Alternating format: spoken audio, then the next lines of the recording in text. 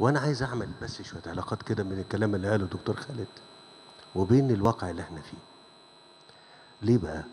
لأن أنا برضو مواطن زي كل المواطنين وعشت عمري كله في مصر وشفت وكنت بشوف وبنتبه وأقول ليه إحنا كده؟ ليه إحنا المستشفى بتاعتنا بالمستوى ده؟ وكانت الإجابة عندي برضو لأن أنا كنت بفكر عشان أفهم عشان آه هو الهدف من اللي إحنا بنعمله ده كله إيه؟ هو المشروع القومي لتنمية الأسرة ولا المشروع القومي لتنمية الدولة المصرية؟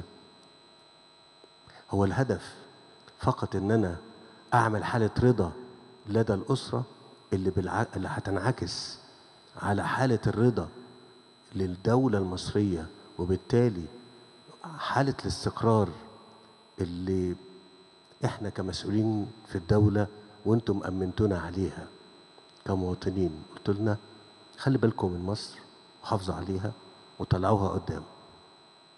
ف... فهي النهارده أنا عشان ده ده يحصل. الدكتور خالد قال كلمتين صغيرين كده على قوائم الانتظار. الدكتور هاله أول ما عرضت عليا الرقم بتاع قوائم الانتظار من من سنتين ثلاث من ثلاث سنين. مش كده يا دكتور مصطفى؟ عرضت عليا رقم آه، يعني سبعة ثمان عشر تلاف. مش كده؟ طيب فقلنا نعالجهم عشان ننهي قوائم الانتظار. الدكتور خالد النهارده بيتكلم على مليون واثنين وستين ألف مش كده؟ أيوه.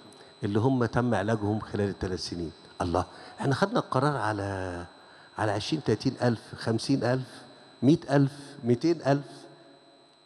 ما خدناش القرار على مليون وستين ألف. ده ولسه.